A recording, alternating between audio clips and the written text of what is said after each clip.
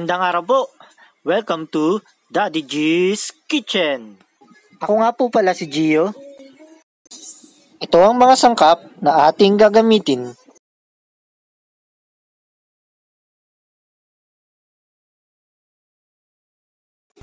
Guys, maghiwa muna tayo ng karne. Masarap to pag prinito, medyo may taba-taba. Sobrang talas ng kutsilyo ko, nakakapagod. Sa bagoong nga pala, naluto ko na siya. Gagawa rin ako ng video para dyan. So, pwede rin kayong gumamit ng bagoong na nabibili sa supermarket. Hiwain ko lang sa dalawa ang kamatis, pero pwede nyong hiwain ng mas maliit pa dito. At ang sibuyas.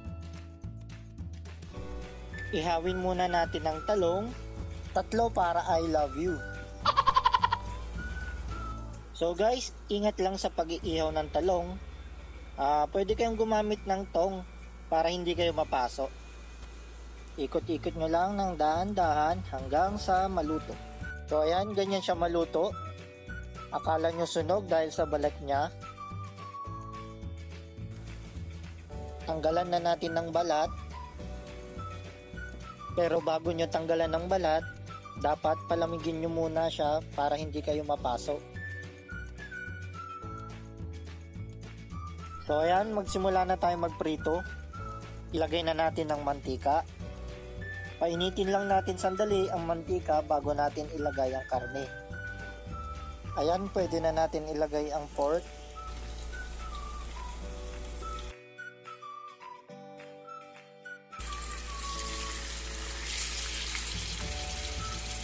Pagkatapos natin mailagay lahat ng karne, takpan muna natin para hindi tayo tamaan ng kumukulong mantika. So, konting ingat lang guys sa pagpiprito ng karne. So, yan guys, binaliktad ko lang yung karne.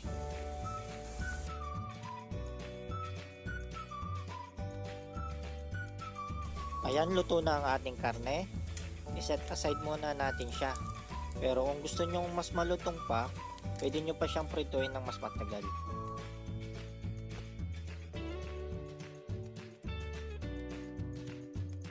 Pagkatapos natin magprito, babawasan ko lang ang mantika tapos, painitin ko lang ng ilang sandali.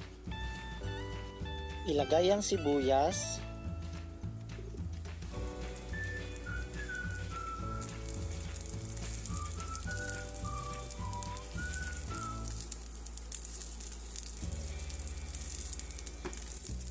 Pagkatapos, ilagay natin ang kamatis.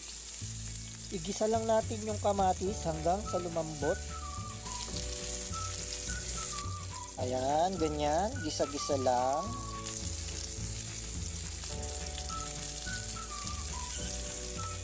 Ngayong malambot na ang kamatis, ilagay ang alamang.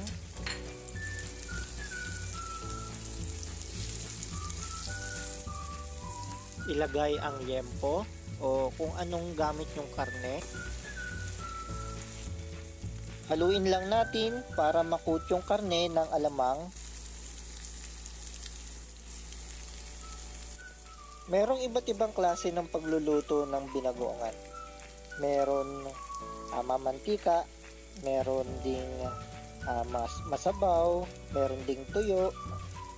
Meron akong natikman, uh, ma-oily siya pero bagnet yung karne niya. Sobrang sarap. Tapos inihaw din yung talong. Kaya yung ginaya ko. Simulan na natin pakuluan. So maglalagay ako ng isang basong tubig.